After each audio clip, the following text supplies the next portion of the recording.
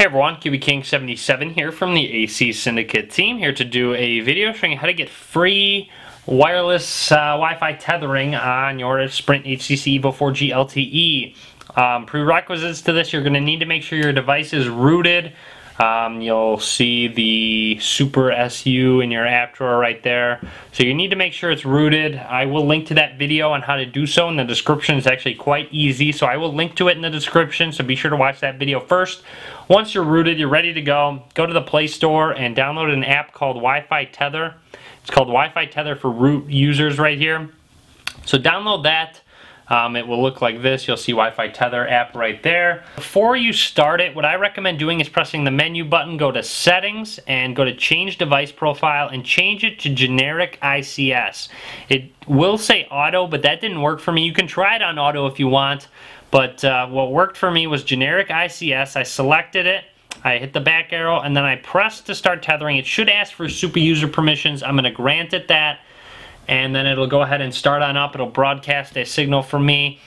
Um, so let's go ahead and wait for this to start up. It shouldn't take too long. So there we have it. It says started tethering. So it's definitely tethering now. So let's go ahead and go to our PC. Alright, at my PC I got a new tab open up. Um, I'm not connected to any Wi-Fi, so let's go ahead and you'll see not connected at all, but connections are available. So let's go ahead and click on it. And you will see Android Tether right here. So you'll see Android Tether, that's our phone. So let's go ahead and click on Android Tether and hit connect. So we hit connect to it. We'll go ahead and connect to Android Tether. Our phone will actually vibrate. So um, let's go ahead and bring up our phone here. It, sh it should vibrate. Um, when it does, it basically says Tim PC connected up here. So let's go ahead and zoom in and right up here we will see that it says um, uh, Wi-Fi tether, AC disabled, access control disabled. We're going to want to enable that. That's what I recommend doing. So you'll see Tim PC.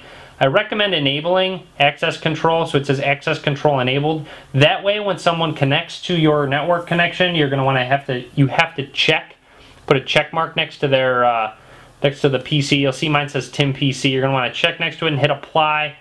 That way it'll uh, save it so you can hit the back arrow and we're still tethering. Um, that way next time anyone tries to connect to your network you need to allow it on the phone so I highly recommend doing that. But yeah, we are now tethered to our phone. Let's go ahead and load up a page. I'm going to load up acsyndicate.net. Of course, one of my favorite sites. So let's go ahead and let it load on up. Um, it is connected to 3G, of course, so it'll take longer than Wi-Fi normally does. But uh, it is loading on up. As you can see, we've got uh, acsyndicate.net loading on up. We are connected to our HTC Evo 4G LTE, tethered to it for free. You don't have to worry about uh, Sprint knowing you're doing so. They just think you're using their data.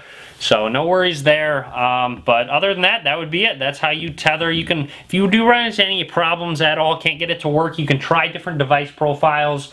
Um, you can try the various ones on there. You can try auto, you can try the HTC devices, you can try all those. So if you do run into any issues there, you can try all those. But that would be it. So that's how to get free Wi-Fi hotspot on your HTC Evo 4G LTE for Sprint.